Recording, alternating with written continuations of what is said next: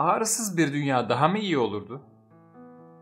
Ağrı milyonlarca yıllık evrimsel süreç içinde gelişmiş, bize dıştan veya içten gelecek zararlı etmenlere karşı koruyan mucizevi bir sistemdir.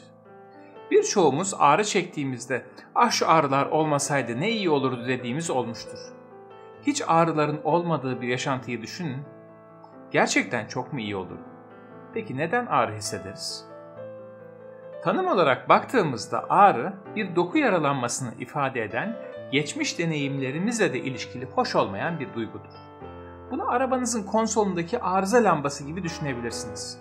Arıza lambası yandığında artık gaza basmaz, hızınızı yavaşlatır ve bir an önce bir tamirhaneye ulaşmak için çalışırsınız.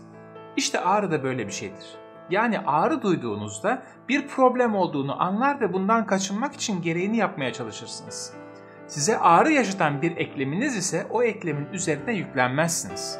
Böylece eklemdeki hasarın daha da ilerlemesine engel olursunuz. Muayene odasında gördüğümüz hastaların hemen hepsinin ilk şikayeti ağrı olmaktadır. Ayak tabanınızda bir yara çıktığını ve ağrı duymadığınızı düşünün. İşler işin içinden çıkılmaz hale gelene kadar hekime gitmez, üzerinde yürümeye devam ederdiniz. Gördüğünüz gibi ağrı birçok insanı hekime götüren birincil bir uyarıdır.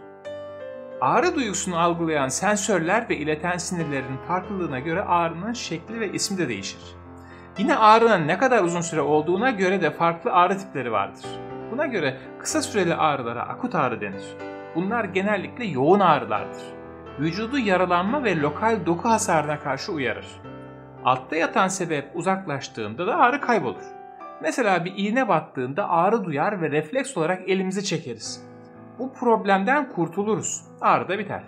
Ya da yaralanan dokuda oluşan ağrı yara kapandığında artık bu yarayı koruma gereği ortadan kalktığı için ağrı biter. Akut ağrı durumunda vücudun savaş ya da kaç mekanizması tetiklenir. Kalp atışımız hızlanır, daha sık nefes almaya başlarız. Farklı akut ağrı türleri vardır. Somatik ağrı yani bedensel ağrıda kişi bu yüzeyel ağrıyı ciltte veya cildin hemen altındaki yumuşak dokularda hisseder. Ağrının yerini çok net olarak gösterebilir. Ayağımıza diken battığında bir kemiğimiz kırıldığında hissettiğimiz ağrı somatik ağrıdır. Visceral yani iç organ ağrısı ise iç organlarda ve vücuttaki boşlukları kaplayan zarlardan ortaya çıkan ağrıdır. Künt yavaş başlayan sızlayıcı bir ağrıdır. Ağrının yeri olarak bir noktayı değil geniş bir bölgeyi gösterebiliriz. Karın içi organların ağrısı bu tiptir. Yansıyan ağrıda ise kişi doku hasarının kaynağı dışındaki bir yerde ağrıyı hisseder. Örneğin, örneğin insanlar kalp krizi sırasında sıklıkla sol omuz ve kol ağrısı çekerler. Bunun dışında karın organlarının bir kısmının ağrısı da sırtta, bel ağrısının bir kısmı da kalçaya doğru yansır. Hiç dişiniz ağrıdı mı? Çoğunlukla ağrıyan dişinizi göstermekte zorlanırsınız, tüm üst ve alt çeneniz ağrır ve lokalize edemezsiniz. Bunun sebebi ağrıyı ileten sinir lifleri aynı sinir kökünden olan diğer bölgelerde de ağrı varmış gibi hissedilir. Akut ağrıda yaralanma iyileştikçe ağrı genellikle daha az şiddetli hale gelecektir. Kronik ağrı ise bu açıdan tamamen farklıdır. Kronik ağrıda vücudunuz bir yaralanma iyileştikten sonra bile beyninize ağrı sinyalleri göndermeye devam eder. Bu haliyle vücudu zarar verici bir etmenden koruyan bir sinyal olmaktan çıkıp kendi başına vücuda zarar vermeye başlayan bir etmen olur. Kronik ağrı en az 12 hafta süren ağrı olarak tanımlanır ve yıllarca da sürebilir. Kronik ağrı hareket kabiliyetinizi sınırlayabilir ve esnekliğinizi, gücünüzü ve dayanıklılığınızı azaltabilir. Ağrı keskin veya künt hissedilir ve etkilenen bölgelerde yanma veya ağrıya neden olabilir. Sabit veya aralıklı olabilir, görünürde herhangi bir sebep olmadan gelip gidebilir.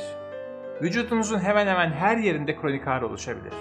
En yaygın kronik ağrı türlerinden bazıları baş ağrısı, ameliyat ağrısı, travma ağrısı, bel ağrısı, kanser ağrısı, artrit ağrılarıdır. Nörojenik ağrı sinir hasarının neden olduğu ağrıdır.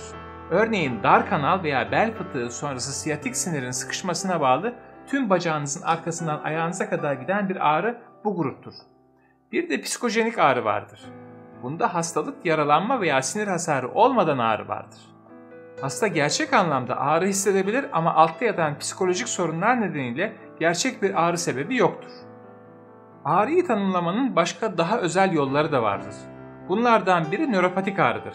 Bu ağrı beyni ve omuriliği vücudun geri kalanına bağlayan periferik sinirlerin yaralanmasının ardından meydana gelir. Elektrik çarpması gibi hissedilir veya hassasiyet, uyuşma, karıncalanmaya neden olabilir.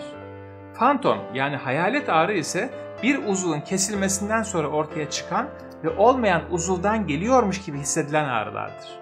Hasta uzuv kesilmesinden 3 ay sonraya kadar olmayan parmaklarındaki ağrıları hissedebilir. Beyinde bu bölgeye denk gelen bir bölüm vardır ve orası halen daha aktif olarak uyarı beklemektedir. 3 ay gibi bir süreden sonra artık sinirlerden uyarı gelmediğinde bu bölüm susar. Ağrı, dokunma, kaşınma gibi duyular da kaybolur. Son söz olarak söylemek istediğim şey birçok ağrı tipi canlı organizmalarda milyonlarca yıllık bir evrim sürecinde gelişen bir savunma mekanizmasıdır. Ağrıyı önemseyin ve ağrının sizin vücudunuzu korumak üzere geliştiğini bilin. Ağrıya rağmen iyi gelir diyerek kendinizi zorlamayın. Uzun süren ağrıların altındaki önemli bir sorunu kaçırmamak için mutlaka hekime görün. Ağrısız, sağlıklı günler sizlerin olsun.